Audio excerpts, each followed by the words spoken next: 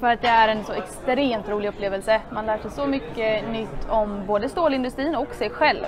Eh, och det är en jättemöjlighet för att skapa nätverk. För att eh, det är en utmaning som man bara har att vinna på. Det, man träffar folk, man står för ett case, man lär sig att presentera eller pitcha och träffa folk framför allt. Så ja, jättekul, sök!